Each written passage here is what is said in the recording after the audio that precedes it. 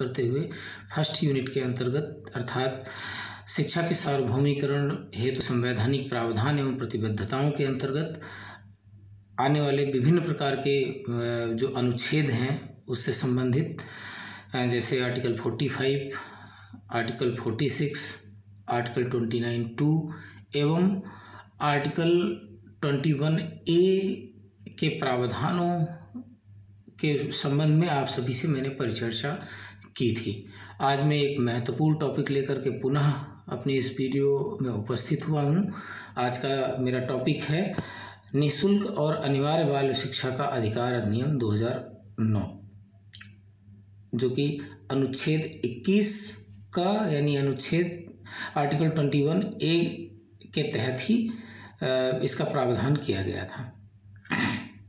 छात्रों, जैसा कि आप सभी को पता है कि मैं किसी भी देश की जो उन्नति होती है, जो प्रगति होती है, वह उसके, उस देश के सुयोग्य एवं शिक्षित नागरिकों के बलबूते होती है। और यही कारण है कि शिक्षा जो है अपने समाज के लिए एक उपयोगी, सुयोग्य एवं उत्तरदायी नागरिकों का निर्माण करने में महत्वपूर्ण भूमिका निभाती है। शिक्षा के जो अन्य स्तर हैं, चाहे वो प्रारंभिक स्तर हो, चाहे माध्यमिक स्तर हो, चाहे उच्च स्तर हो, इन सभी स्तरों में जो प्रारंभिक शिक्षा होती है वो समग्र शिक्षा व्यवस्था की आधारशिला मानी जाती है। इसी तथ्य को ध्यान में रखते हुए आ, हमारे संविधान निर्माताओं ने राज्य के नीति निदेशक तत्वों के अंतर्गत अनुच्छेद 45 की व्यवस्था करके यानी आर्टिकल 45 की व्यवस्था करके उसके अंतर्गत ये प्रावधान किया था कि देश के जितने भी छः से चौदह वर्ष तक की आयु के बालक हैं। उन सभी के लिए निःशुल्क तथा अनिवार्य प्रारंभिक शिक्षा का प्रावधान करना होगा। यानी अपने निःशुल्क एवं अनिवार्य प्रारंभिक शिक्षा की संकल्पना को इस आर्टिकल के माध्यम से संविधान निर्माताओं ने व्यक्त किया था। परंतु आगे चल कर के काफ़ी समय बीत जाने के पश्चात भी अपने लक्ष्य को शिक्षा, अपने इस लक्ष्य को प्राप्त नहीं कर पाई थी। ये प्रावधान भी उसमें सहायक नहीं था, क्योंकि नीति निर्देशक तत्वों के अंतर्गत आने के कारण ये राज्यों के ऊपर निर्भर करता था, सरकारों के ऊपर निर्भर करता था कि इसको वो लागू करें या ना लागू करें। इसके लिए कोई बाध्यता नहीं थी। इस चीज़ को समझते हुए जो हमारे देश की संसद ने छियासवें संवैधानिक संशोधन, जो कि 2002 में हुआ था, उसके तहत आर्टिकल 21 में जो प्राण एवं दैहिक स्वतंत्रता का अधिकार हमें प्रदान करता है जीवन जीने का अधिकार प्रदान करता है, उसी में आर्टिकल 21 में ए जोड़ करके, यानी 21 ए बनाया गया, या अनुच्छेद 21 का, जिसको हिंदी में कहते हैं, बनाया गया। चूँकि आर्टिकल 21 में ही आर्टिकल 21 ए इसलिए जोड़ा गया क्योंकि शिक्षा को भी उतना ही महत्वपूर्ण माना गया, जितना कि जीवन जीना महत्वपूर्ण है एक व्यक्ति के लिए। कहने का तात्पर्य है कि शिक्षा को प्राण एवं दैहिक स्वतंत्रता की बराबरी दी गई थी कि जैसे एक व्यक्ति को जीवन जीना महत्वपूर्ण है, उसी प्रकार के से उसके लिए शिक्षा महत्वपूर्ण है। यही कारण है कि आर्टिकल ट्वेंटी वन जो कि हमें जीवन जीने का अधिकार देता है, उसी में ट्वेंटी वन ए जोड़ करके, ट्वेंटी वन ए का प्रावधान करके जो ये निःशुल्क एवं अनिवार्य शिक्षा थी उसको मौलिक अधिकार बना दिया गया। चूँकि 2002 में ही राइट टू एजुकेशन अपने अस्तित्व में आ गया था किंतु यह उतना प्रभावशाली ढंग से लागू नहीं हो पाया था और इस कमी को पूरा करते हुए आ, हमारी संसद ने आ, आर्टिकल 21 ए को प्रभावी ढंग से लागू करने के उद्देश्य से संसद में 4 अगस्त 2009 को बालकों की निःशुल्क एवं अनिवार्य बाल शिक्षा का अधिकार अधिनियम 2009 पारित किया। राष्ट्रपति के अनुमोदन के उपरांत 27 अगस्त 2009 को इसे भारत के राजपत्र में प्रकाशित कर दिया गया था।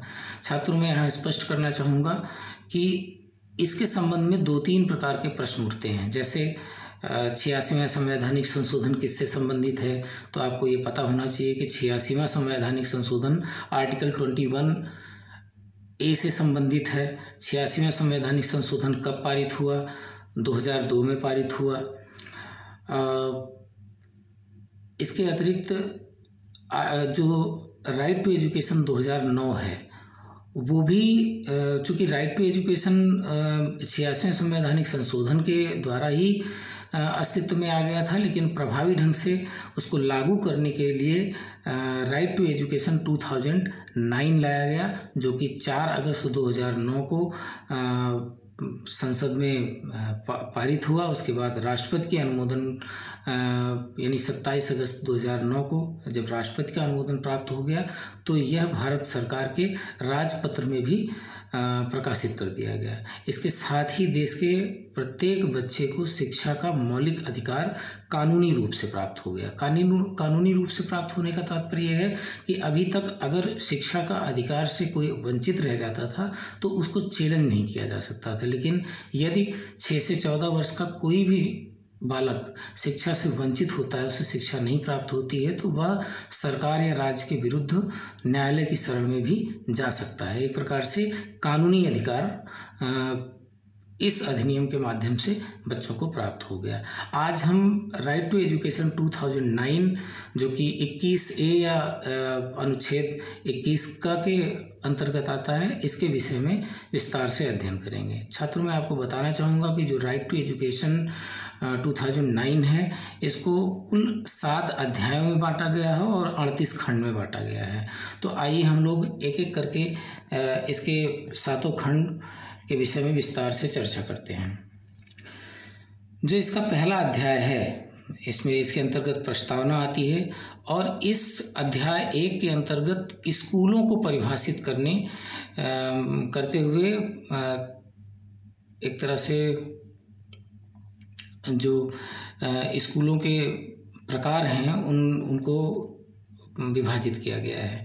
जैसे अध्याय में आप देख रहे हैं कि स्कूल कितने प्रकार के हैं। सरकार द्वारा स्थापित और नियमित स्कूल हैं। अनुदान प्राप्त निजी स्कूल होते हैं। विशेष श्रेणी के स्कूल, जैसे नवोदय, केंद्रीय विद्यालय आदि, अनुदान ना पाने वाले निजी स्कूल, यानी अध्याय एक के अंतर्गत इस बात का प्रावधान किया गया कि राइट टू एजुकेशन 2009 किन किन प्रकार के स्कूलों पर लागू किए जाते हैं।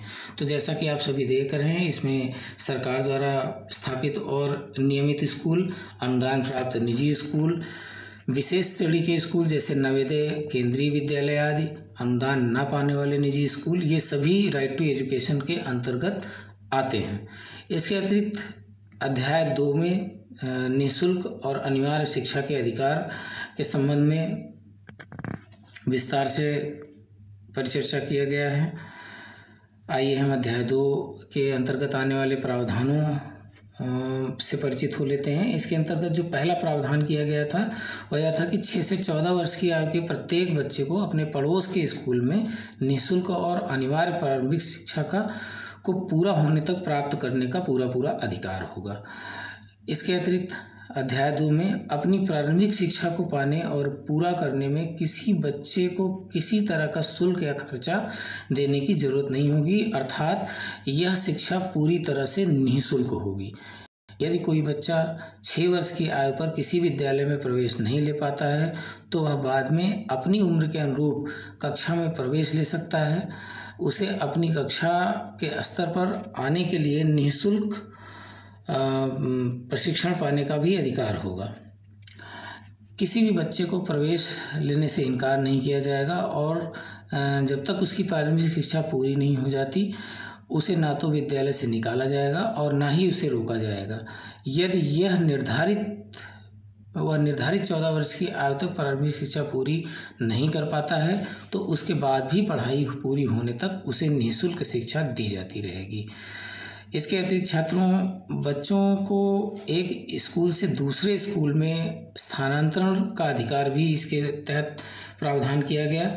यदि किसी स्कूल में प्रारंभिक शिक्षा पूरा करने का प्रावधान नहीं है तो बच्चे को किसी भी दूसरे स्कूल में स्थानांतरण लेने का अधिकार होगा। अध्यापक को टीसी तुरंत निर्गत करना पड़ेगा।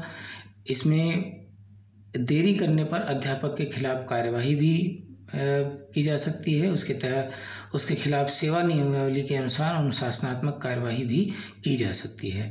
जिस स्कूल में स्थानांतरण होना है वहाँ टीसी को देर से प्रस्तुत करने के कारण प्रवेश देने से इनकार नहीं किया जा सकता है। देर से प्रवेश देने का अधिकार नहीं बनाया जा सकता है। तो आप देख सकते हैं कि अध्याय दो में निःशुल्क एवं अनिवार्य शिक्षा के अधिकार के संबंध में विस्तार से प्रावधान बताए गए हैं। इसके अतिरिक्त अध्याय तीन, केंद्र और राज्य स्थानीय सरकारों एवं अभिभावकों के दायित्व का विभाजन करता है। राइट टू एजुकेशन के संबंध में इस अधिनियम के लागू होने तक के तीन साल के भीतर सरकार और स्थानीय सरकारों को पड़ोस का स्कूल स्थापित करना होगा, यानी विद्यालयों की स्थापना करनी पड़ेगी। यानी कोई भी बच्चा